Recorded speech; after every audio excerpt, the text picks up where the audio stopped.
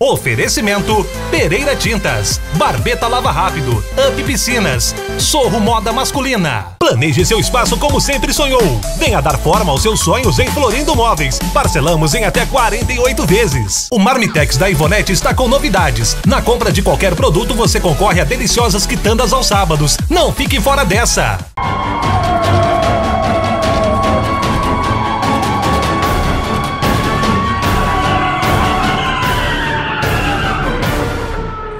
Polícia Militar de Juruáia cumpriu mandado de busca e apreensão na tarde desta quarta-feira, 2 de setembro.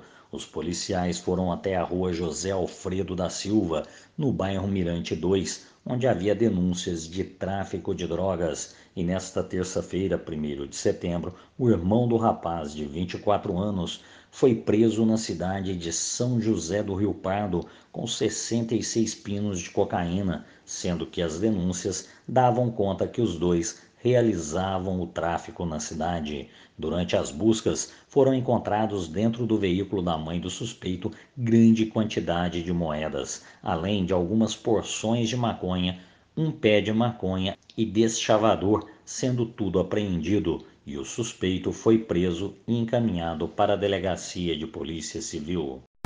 Guaxupé tem gradativamente retomado as suas atividades. Tudo seguindo o programa Minas Consciente do governo estadual. Sabemos o quanto esta retomada é importante para a economia local, mas isso só está sendo possível porque há bons índices no combate e na prevenção ao coronavírus. Continue utilizando máscaras ao sair de casa. Mantenha o distanciamento social e evite aglomerações. Prefeitura de Guaxupé, com você no combate à Covid-19.